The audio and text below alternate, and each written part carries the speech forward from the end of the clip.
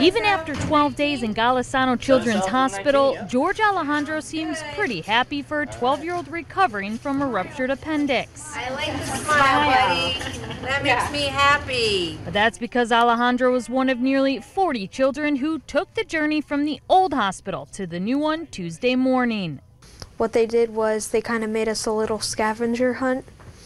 And on my way here, they gave us uh, certain items. They gave me a pinwheel, um, a leaf, a rock, and a bag of seeds. Once in his new room, Alejandro and his family say they could see the difference. This room is awesome because, like, the main thing I like about this room is that it's just you and the people that you personally, the, the people that you personally know.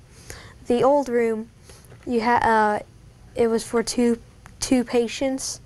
So you had you, the people that you personally know, and then the other people. And you kind of had, you kind of had less freedom. But amid the joy of the day, it was also bittersweet for all those who had worked in the old hospital.